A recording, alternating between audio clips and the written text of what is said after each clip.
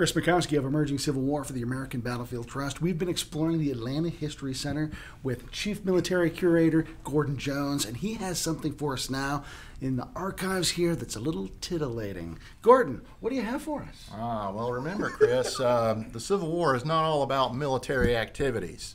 All right, these were real people in real times doing real things. And uh, so what I have here is a sample of some Civil War pornography. Now, this little book right here, I want you to notice this. All right, first of all, you see it's in a plain brown wrapper, and somebody has really thumbed through this very thoroughly, so it's, it's well used. Now, don't be shocked, but okay, look, it's, it's illustrated, it's graphic, and it's definitely showing you what it is that you want to be doing out in the woods.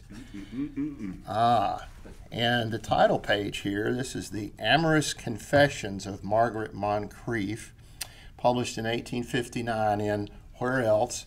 New Orleans. Uh, Margaret Moncrief was actually sort of a, um, uh, a well-known uh, lover, well known for her supposed exploits in the late 19th century.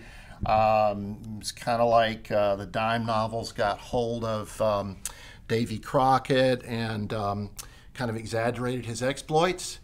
Uh, the same thing would be said for Margaret Moncrief. Now, most of it, you know, is is stories, but there are illustrations throughout. These, this is extremely rare. This is really hard to come by.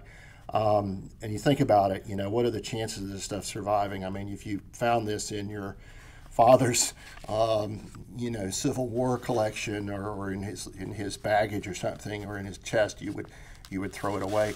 Uh, this one we got from my friend uh, Lynn Trainer. He's a collector in Australia, and he had the imagination enough to to bring that in as part of the story of the Civil War.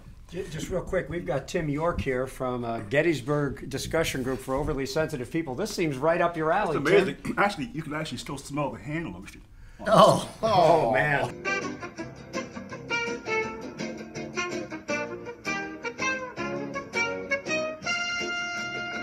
Well, we also, again, this is a recent acquisition because we're always looking for for new artifacts that tell different stories. But uh, this is a letter from a guy named William Eldred in the 5th Michigan. Uh, it's dated 1862, and this is proof positive that people did use the F word back in those days. And he starts out. This is proof positive that he did that people did use the F word back in those days. And he starts out right here. I'm going to read the, the transcription here. He says, uh, Dear friend, I received your letter last night and was glad to hear from you. And if I didn't have a good f- God, I got my laying, whiskey, supper, breakfast, laying, and ram away to pay the bill. I took seven rounds during the night and had to shoulder my ass to get in this morning by God. So, yeah, when you talk about people cursing at that time, yeah, it, it, it just like today. And it, it came in this little envelope right here, this little patriotic envelope. I kind of like that. How are you, Mr. Merrimack? Thumbing his nose. Somehow it seems appropriate to that letter. I've just, uh, in, in all my time, I've never heard something quite like that um, stated so plainly in a letter.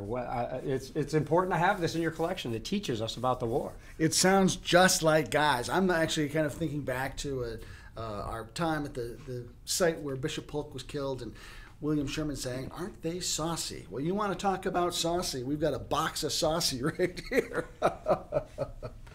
We're still actively collecting in this field, right? I mean, this is social history. This is a history of the 19th century. This is not just this is not just about guns and generals. This is about people. The Civil War is always about people. Ordinary people. Here we are. And we have a tendency to romanticize those people, and we think about them as as far off people in funny clothes, doing noble things or or doing unsavory things. Um, they're people just like you and me, and having artifacts like this remind us that they are people as human as any of the rest of us. Uh, Gordon, I want to thank you for taking the time to show off some of these things and reminding us our own common humanity, uh, even if it is a little more titillating than you might have been expecting.